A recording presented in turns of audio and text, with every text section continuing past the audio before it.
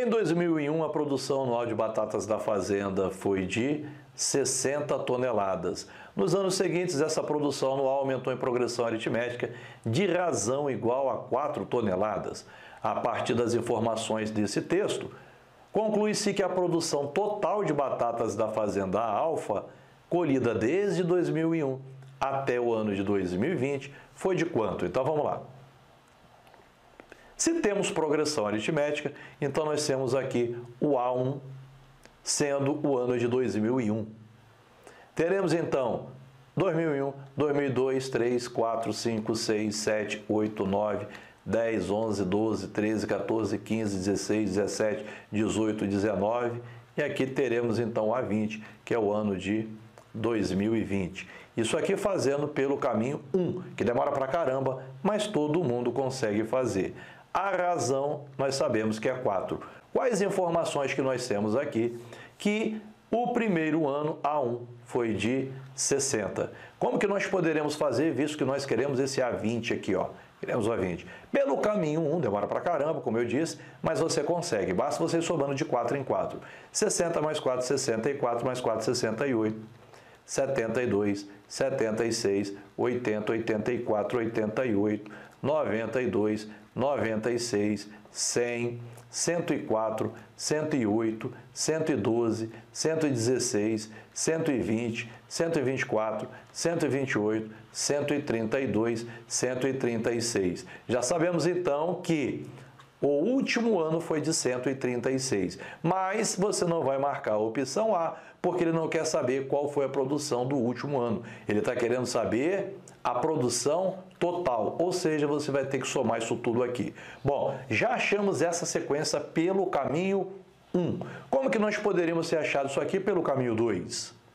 Pelo caminho 2, para achar o A20, então eu usaria a expressão a20, que é igual, eu tenho aqui o A1, A1 mais 19R. Por que 19? Porque esse número mais esse tem que dar esse. O meu A20 eu não sei quanto é, o meu A1 eu sei que é 60 e a minha razão eu sei que é 4.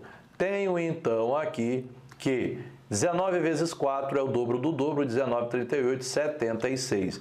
Então, o meu A20 vai ser 136. De fato, está aqui. Agora veja bem, ele quer a soma. E você pode fazer a soma pelo caminho 1 ou pelo caminho 2. Fazendo pelo caminho 2, já que nós estamos aqui na fórmula, temos aqui então a soma sendo o primeiro termo mais o último termo, que multiplica a quantidade de termo dividido por 2.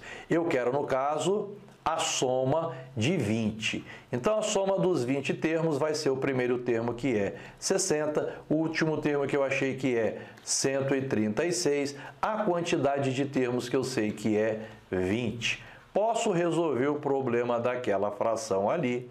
20 dividido por 2 é igual a 10. Sendo assim, resolvo que está dentro dos parênteses, 60 mais 136 é 196, que multiplicado por 10 vai dar 1960. Então, a produção total foi 1960, opção D. Professor, eu esqueci a fórmula e agora como é que eu faço? Você poderia ter feito pelo caminho 1, que é somando 1 por 1. Entanto, como eu mostrei para você na aula de explicação, ao invés de você somar esse com esse mais esse, você vai somar os extremos. 60 mais 136 dá 196. Então, esses extremos aqui também, você já sabe que dá 196.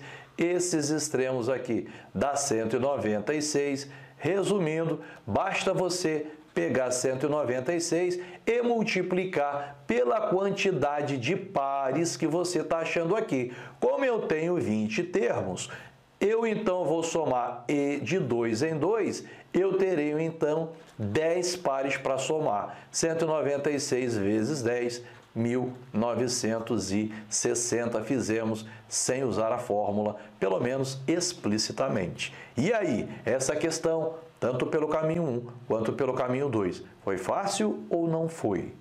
Então, vamos para a próxima.